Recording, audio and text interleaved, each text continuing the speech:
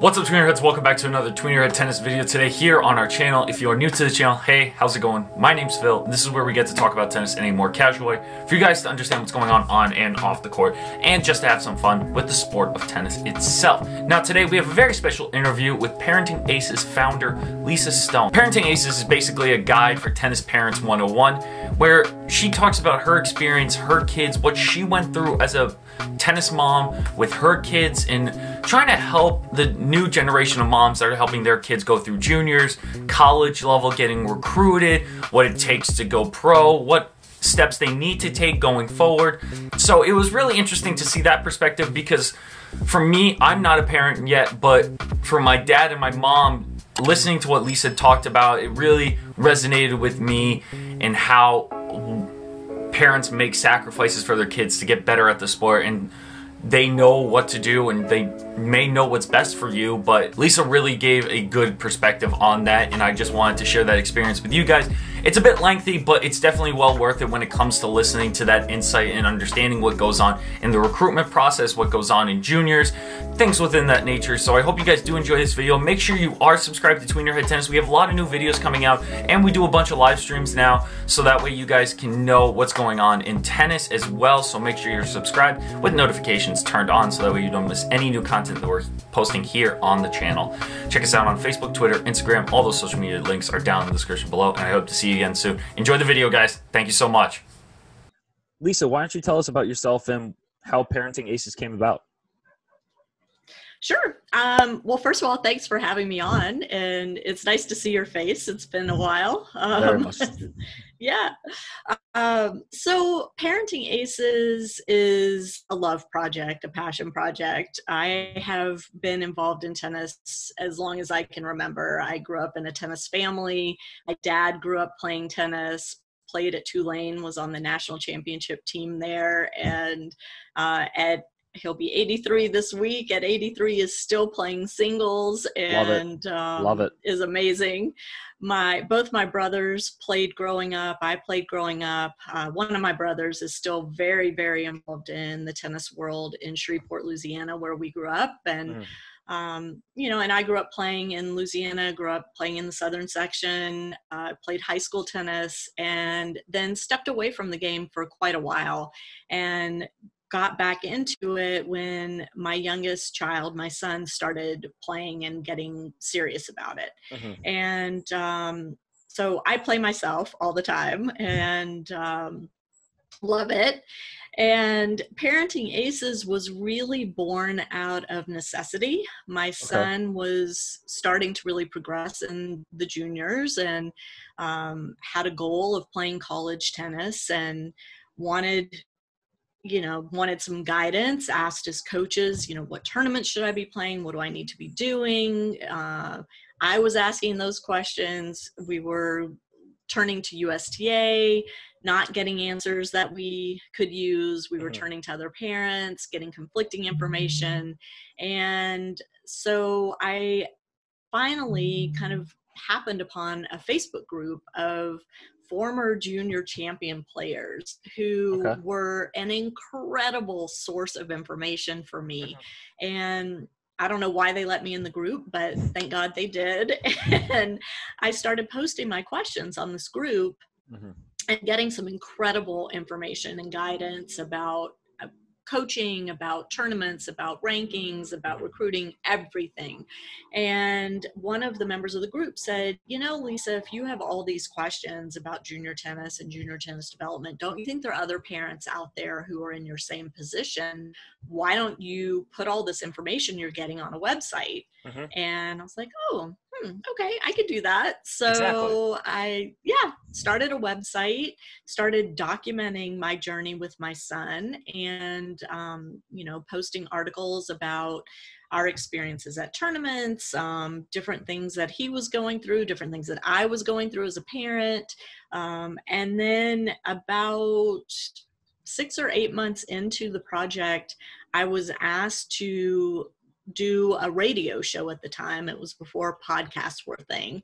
And was asked to join this tennis network, uh, like a radio network of shows. Okay. And so they asked me to host a weekly show for tennis parents. And that was the start of the Parenting Aces podcast, which has now become its own freestanding entity and recently became part of the Tennis Channel podcast network, which is pretty cool. And Congratulations. I know that was that was exciting. Yeah. And uh, yeah, so still going strong. My son is now 24 years old, a grown man living on his own, working in the real world and doing all those things. And so mm-hmm. my role with Parenting Aces has really um, kind of, you know, had to pivot several times over the course of his journey and okay. my journey. And um, so now I'm not on the ground like I used to be, you know, week in and week out at tournaments and day by day at practices and all of that. But I rely on other parents to feed information to me. I have great relationships with USTA, with UTR, with the ITA, with the ITF, and um, you know I'm able to. I hope I you know provide valuable content still to the parents out there. It seems like this is this should have been made, and I'm glad you've made something like this as kind of a go-to source for parents because for me when i was growing up i was the first one to play tennis in my family competitively at least to mm-hmm. go play itf juniors to go play usta juniors and you would always hear things from other parents of some form of guide of okay this is the path that you should do if they're looking to do this if they're mm-hmm. looking to go pro this is where you should go so how did you kind of gather your all of your information to put onto your I'm, website? Is that just well, like I said, I mean, part of it's, you know, experience and sharing my story with my son and, you know, the things that I, I've always been very upfront when I've messed things up and said, you know, don't do this. I did this and this is what happened and this is not a good path to go down. Mm-hmm. Um, so there's been a lot of trial and error that I've documented over the 10 years I've been doing this. But okay. also, like I said, I've developed relationships. So um, there are a lot of junior coaches that I talk to on a regular basis. There are a lot of college coaches I talk to on a regular basis who you know when they get information they send it my way. Um, you know i get information from again the governing bodies. I'm on you know the media lists for the various um, federations around the mm-hmm. world so i get updates on what's happening. And i try to just share that whether it's in an article on parentingaces.com whether it's on the parenting aces podcast or one of our social channels. Of course. And i think to kind of get into more on the parenting side hence parenting mm-hmm. aces how would what was the best piece of advice you got for a mom that would that had a son being in the top percent of juniors in their region what was the best piece of advice someone gave you as a mom going through this um that it never gets easier and understanding that as a parent it it never gets easier watching your kid play and that piece of advice actually came from melanie Oudin's mom and i don't know oh uh, yeah know, of course will remember El- melanie but mm-hmm. um, mm-hmm. melanie and my son trained at the same academy when oh, wow. he was first starting out uh-huh. and um, and they lived in the same area of Atlanta that we lived in. And so our paths crossed quite a bit but we were at a junior tournament. Her Melanie's younger sister was playing, and my son was playing, and the mom and I were in the ladies' room and chatting. You know, as we're washing our hands, and I was like, you know, please tell me this gets easier. And she's like, no and in fact it gets a lot harder because more is on the line as they get further along in their career. So you just need to know that and figure out how to manage it. And that's not to say that that was you know the answer and and you mm-hmm. know that she said if you do a b and c you'll be fine. No she didn't say that to me but it was enlightening and helpful for me to kind of let go of that expectation that you know i'm going to get better as a parent and one day you know i'm going to be able to sit there and not be phased by what's going on on the court. No that's never going to happen. But i did get better in learning how to manage my emotions and my body language and the car ride home and yes. all of those things. No, it, it takes trial and errors, uh, especially from a parent with young kids Yeah. impressionable kids, I should say. And for me, at least from a parent's perspective, there were those that were good to hang around with when you were at a tournament. And there were those that were maybe a little bit more intense or one of those that just rubbed you the wrong way. It's you can never really find the right solution or find the right formula until you've done it for a while. Well, and I think too, one of the challenges is every kid's so different, right? So even if you are the parent of multiple tennis players, right, you're the way you handle one child's tennis journey may be completely different from the way you handle the next child's tennis Absolutely. journey.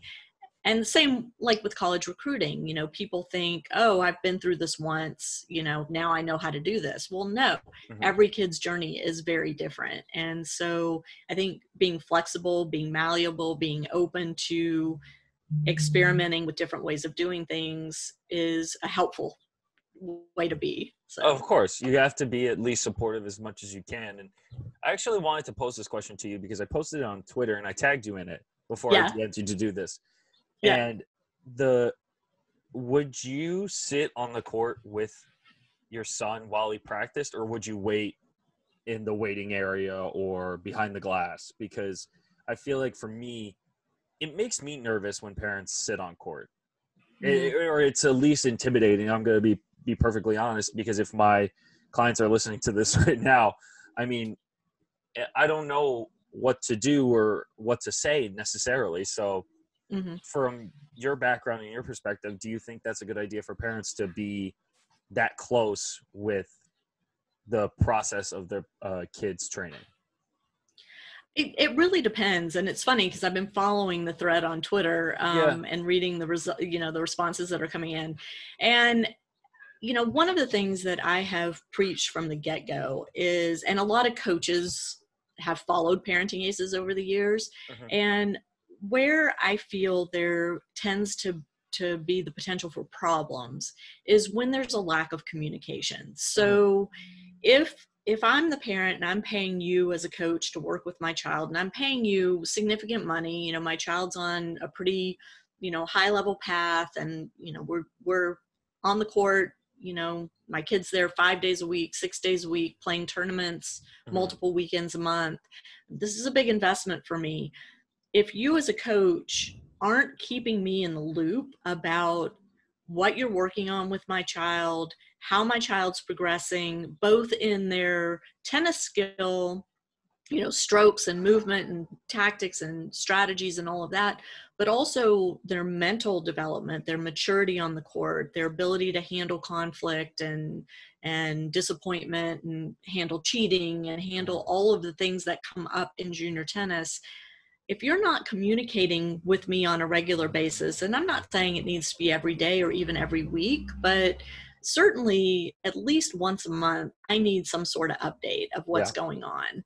Um, then I feel more inclined to be present because being present is the only way I'm going to find out what's happening.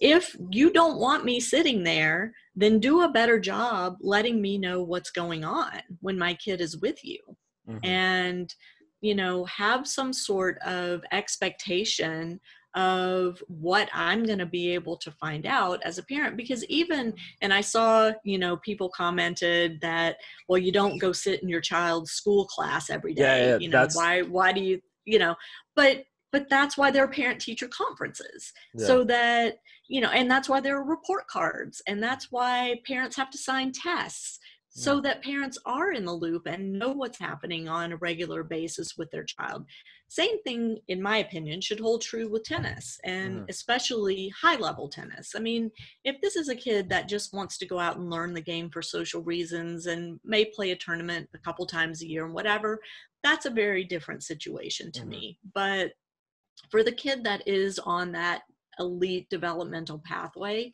I think it's crucial that coaches do a better job communicating.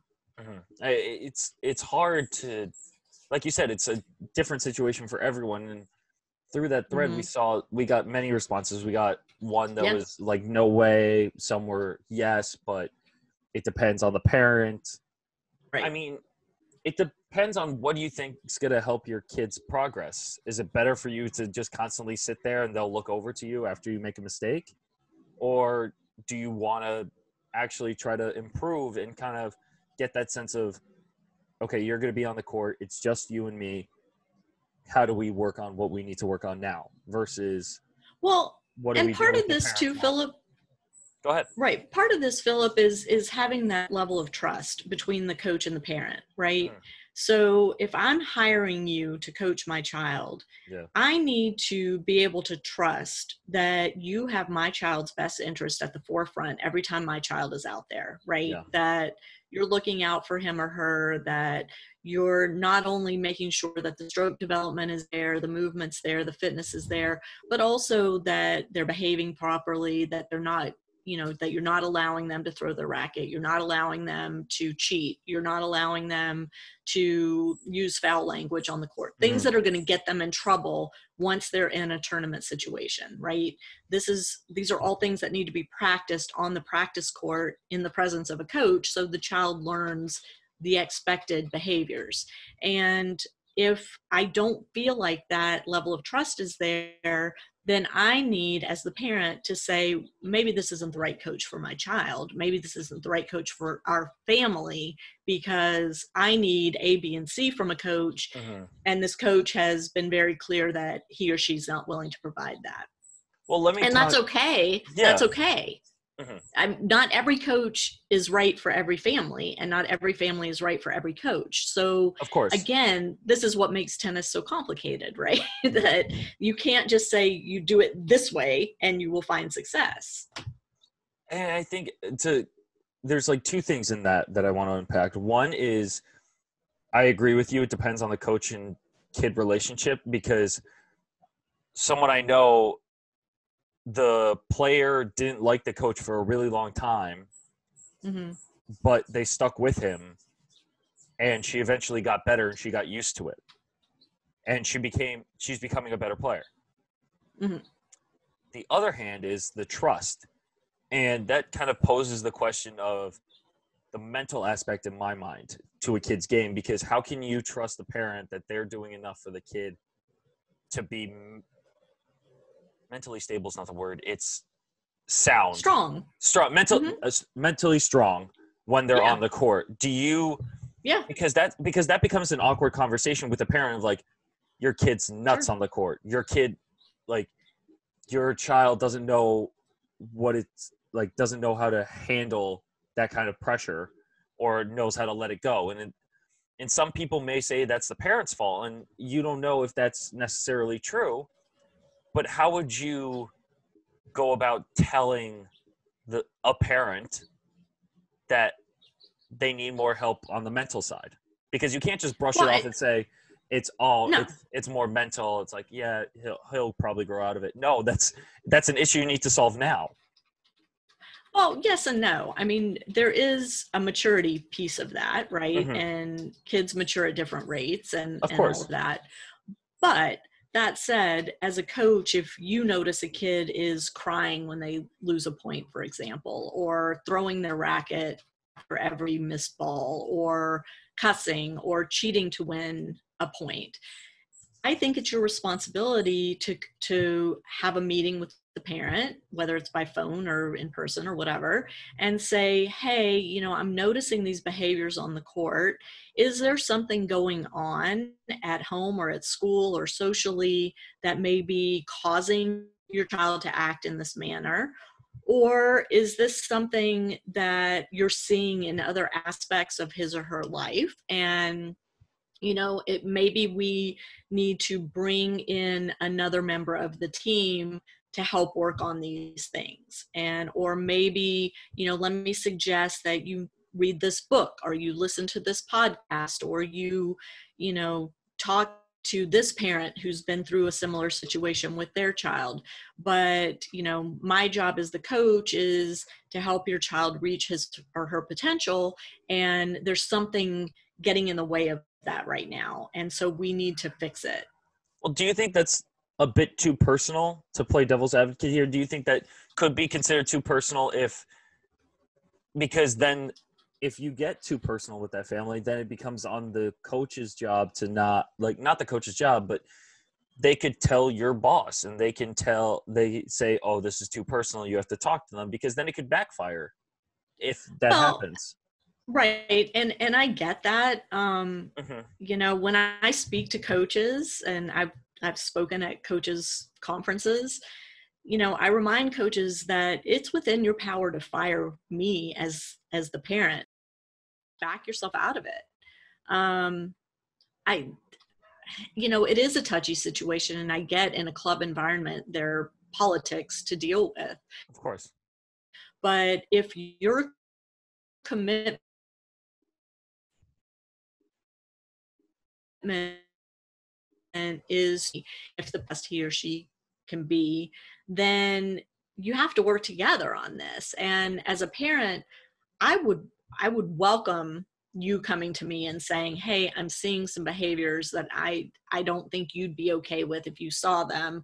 You mm-hmm. know what's going on? Is this something we need to to work on together. Yeah. and and it's a, a triangle right? I mean we all talk about this a lot you know the parent player coach triangle. And the parent is eh, when the player's younger the the parent is playing a bigger role right? Because it's a young child and the parent is in charge. The parent's writing the checks the parent's driving the kid yada yada yada. Because they're as in charge the of child becomes right. But as the child enters teenage years then some of that has to shift onto the kid.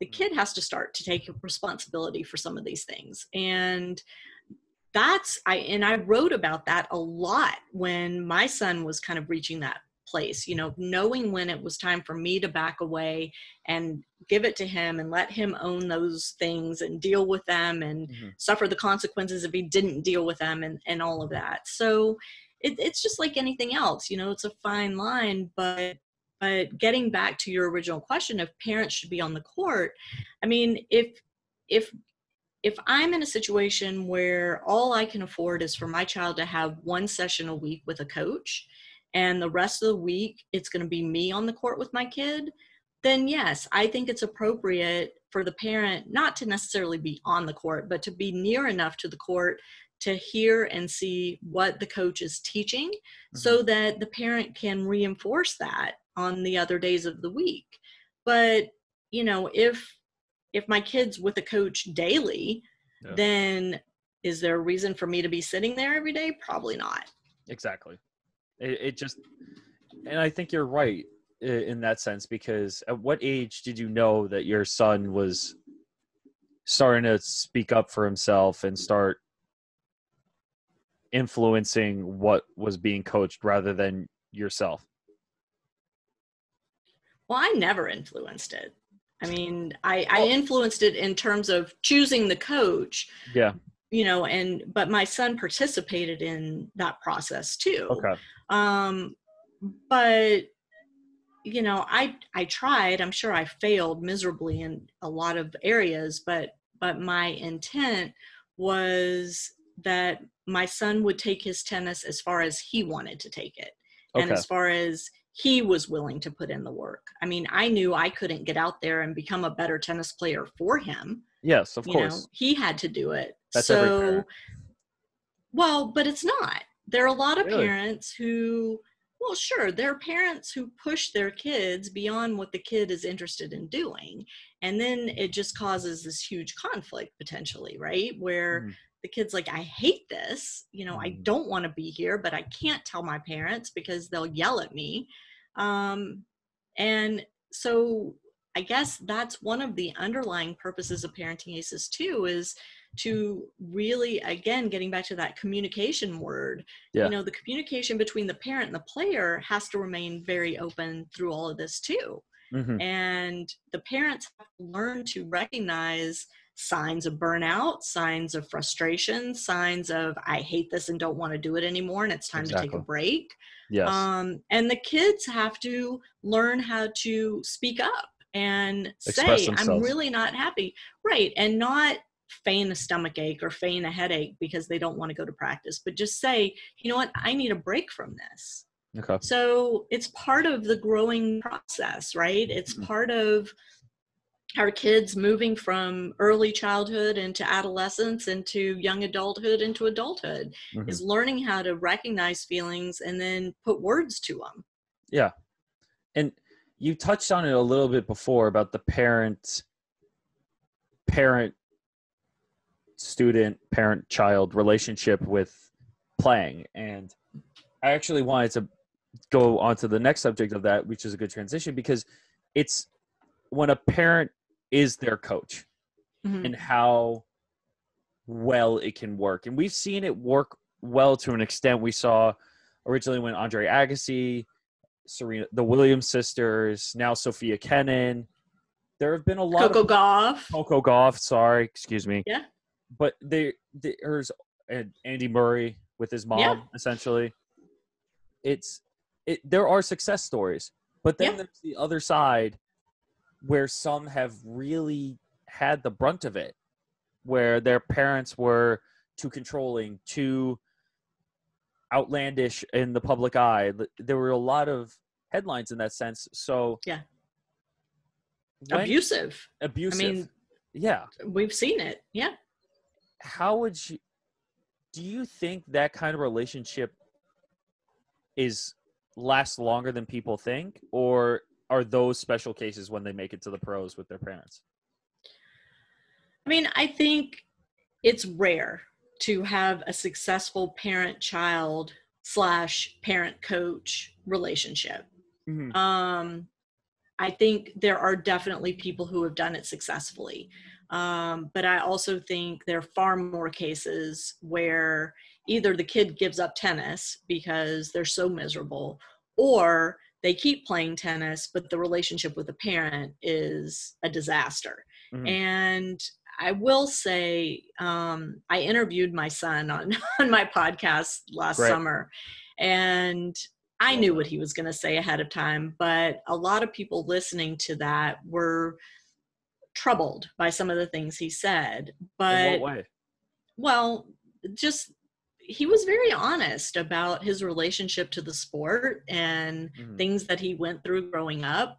okay But but the one thing he did say multiple times over the course of the podcast was how close he and I remained through all of it, even though we would have momentary headbutting, you know, but at the end of the day, he valued and I certainly valued the amount of time we got to spend together and we are super close now. Um you know, and for me that was always wild was at the top, right? And the tennis was well below that.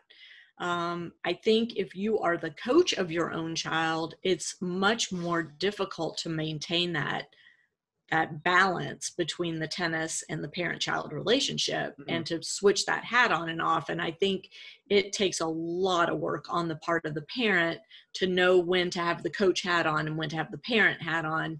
And especially if there are other children in the family who aren't tennis players, it becomes that much more difficult. it becomes a dilemma So, I mean, it's tough. And, you know, my son would tell me multiple times when he was growing up, okay, mom, enough tennis talk. We're done. Like, you know, I don't want to talk about this anymore. Let's talk about something else. Or he would just clam up. And, you know, I would, after several minutes of continuing to run my mouth, Mhm. realize, you know, no, no, no, I need to stop. We need to talk about something very different. How'd that math test go today? You know? probably didn't want to talk about that either to be honest It, no, but you know, it was Just it was not topic. tennis. It was Of just course. not tennis. So so if you were to change something that you did with your son growing like doing and being a part of his tennis journey in life that kind of led to parenting aces what's one thing that you wish you could have done better or shouldn't have done that parents that parents may or may not know about there's so many. Um, I screwed up majorly.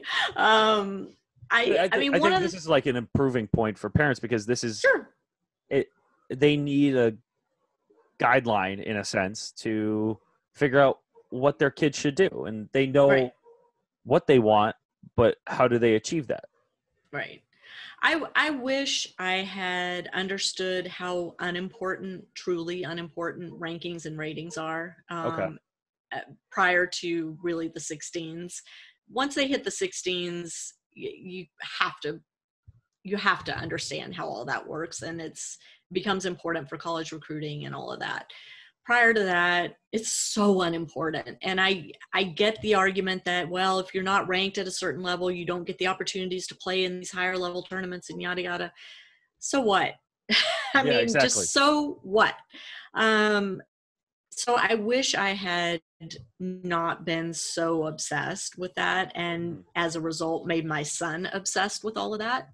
I also wish i hadn't let him play as many tournaments as i did um because i think it leads to injury and burnout and it's again it's unnecessary. I think you know playing two tournaments a month maximum is sufficient playing every single weekend or three out of four weekends That's gets tough. to be too much and then the last thing I wish, I really wish I had understood, and I learned this once he got to college, was if your child takes a break from tennis for a week, a month, three months, six months, it's not the end of the world. And they can come back to the sport. And oftentimes they come back stronger and better and more committed and more energized than if they didn't take that break. And nobody told me that. Um, and I never saw anybody take a break like that. Like none of the people in our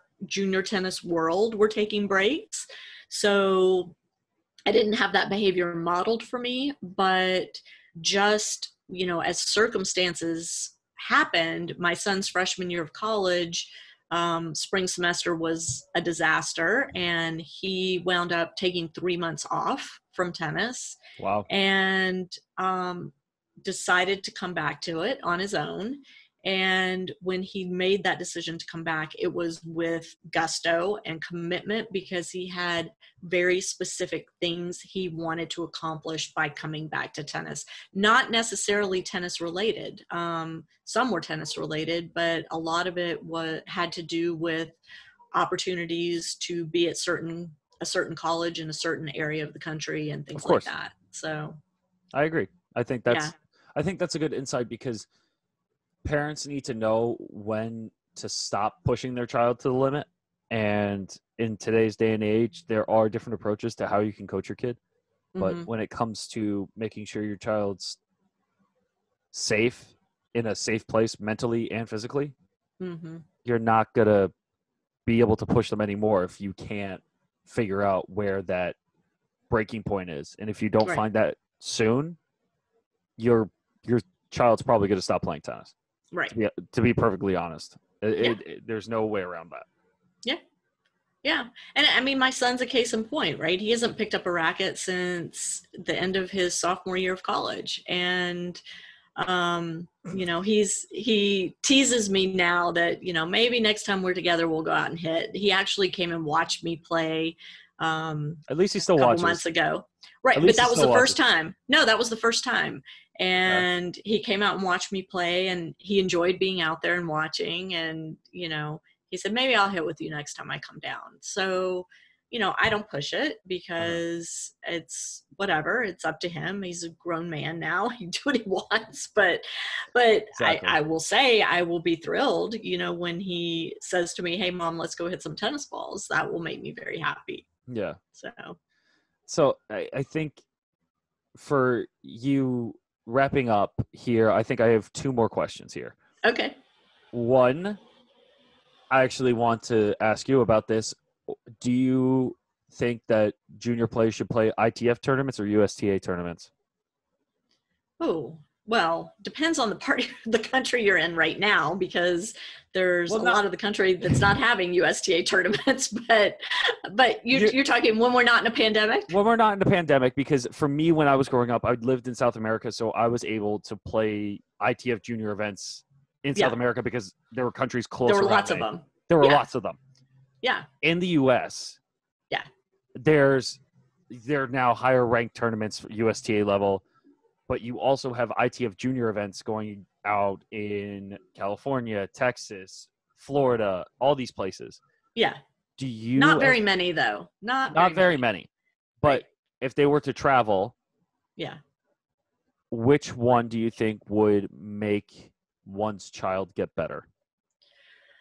I mean, that's kind of a loaded question. So, I, it is, but it, you know, for me, this is the question I always had as a kid. right. I think if money's no issue and you can afford the travel, then it's really cool to travel around the world and play tennis tournaments and be in different cultures and meet kids from different parts of the world and you know learn that a teenager's a teenager and we're all more alike than we're different. And all of these life lessons that you get from just being a traveler right but not every family's in a position to afford to travel like that and so from a developmental standpoint i think you can stay home and Mhm. develop to a very high level Mhm. if you open yourself up to opportunities beyond just the junior events that are in your area. So, for example, playing men's open or women's open events. Mhm. Um, once you're old enough to join adult leagues, playing in those events and learning these different styles of play and learning how to manage as an opponent to these different styles of play. Um, you know, getting out and hitting with college players. Uh, if you're, you know, 14 years old, Mhm. being on a court with a college player is invaluable. So I think there are plenty of opportunities at home. Um, but again, it, you know, I'm I love to travel. I, you know, I have kids who enjoy traveling. I think traveling opens up things to you, opportunities to you, ideas, um, ways of looking at the world that you don't get when you stay home in your own little bubble. So, as a citizen of the world, yes, I think it's awesome to be able to go to ITF events all over the place and compete. I also think because college tennis, if if college tennis is the goal for the junior player, college tennis is so international now Yeah. that having exposure to international players from age 14 as opposed to waiting till you're 18 and in college puts you at an advantage 100%. because 100%. you're seeing you know those different styles of play and you get to play against players that have a different game plan, have a different idea of how to play the game, and it's. I even always just fe- seeing how they warm up how they prepare for matches Yeah. what they do after their match what they're doing between matches i mean here in the states we you know everybody tends to do things pretty similarly and then i mean i my son went and trained in in mallorca for a month and you know he was in culture culture shock not just being in spain but culture shock on the tennis court yeah, the way practices were managed, the way time on and off the court was managed was completely different than anything he had ever experienced. So I think that Mhm. was super valuable for him. I agree, and I always want when I played overseas, it would be much different because then I would come back to the states and it would be two hours of straight tennis with there's like a certain routine that you go through every day Yeah. and i wasn't i was never used to that so it always made me question am i in the right place where i train so Mhm. i think that was the biggest thing and the last question i have for you is what's the best way i bet you get this a lot what's the best way for kids to get recruited for college To start to play making relationships. Okay. Huh? no i To- i thought you were telling me something else i'm sorry No, no, no. No, no. To in order, the best way to get recruited is to start forming relationships with college coaches and college players as early as you can. okay So when you're at a tournament and there's a college coach there, going up and introducing yourself and saying, you know, hey, I'm so and so. I'm playing at two o'clock today. You know, if you have a chance to watch, I'd love to get your input on what you're seeing on the court. You know, Mhm. um, going to camps at, on college campuses and and getting to know the coaching staff that way and getting to know the existing players connecting with the existing players on social media because a lot of college coaches rely on their existing team members to give them feedback on recruits. And so if you already have relationships with members on that team who know you who see you on social media um, who kind of have a feel for who you are yeah. they can give that feedback back to the coach and help you. But it, college recruiting is all about relationships. And I will say that the parents need to take a giant step back from the recruiting process. Really? Let the player own it. It is Wow. not the parent's job to do recruiting for their kid. Um, okay. kids need to absolutely own that process. The parents need to say, this is what we can afford budget wise. This is the geographic you know distance we're comfortable with you looking um, these are some factors that we'd like you to consider academically and then they need to step back and let the kid own it Okay. Co- college coaches hate hearing from the parents they don't they don't want to hear from you they want to hear from the kid I love that. I love that. it's true It's very true, and I think not a lot. Some parents don't understand that if they want to do it, they'll do it. They they don't need and your don't help. you know i have a lot of friends who run recruiting businesses and so i i'm always hesitant to say this but recruiting is something that the child needs to do him or herself they need to go through that process first of all the skills that they gain by going through the process are invaluable in life so they learn communication skills they learn how to market and sell themselves they learn how to uh, create video, create social media that's appealing, um, how to interact with adults, you know, all of these things that are crucial to their maturity and their development into adult human beings. Yeah. Also, though, your child needs to make that final decision about where he or she's going to play because if things don't work out, like they didn't work out for my son his freshman year, it's the kid who made that decision. They own that decision. And if you as the parent step in and say you have to go to this school and the kid doesn't want to go there and things don't work out for the kid at that program they come back to the parent and say you made me go here how could you make me do this Exactly. you know whereas i mean for my son when things didn't work out for him that was a huge learning opportunity for him he had to Mm. figure out how to extricate himself from a bad situation that he had chosen for himself and figure out a way to make it work and and move on and he did and he gained unbelievably invaluable skills from doing that so Oh yeah. huge proponent of let the kid own it Well, Lisa, thank you so much for that awesome insight. I really did enjoy talking to you today. It's really good hearing a voice where it can really help the value of parents with their kids. So I really appreciate having you on, Lisa. And if you guys want to check her out, I'm going to leave all the links to her Instagram, podcast, website, everything. You can find that in the description below, wherever you're watching this. So, Lisa, thank you again for joining me. I hope to see you real soon in person. Thanks philip stay safe and uh, good luck with all the stuff you're doing congratulations Thank you so much. I appreciate that. all right take care You too.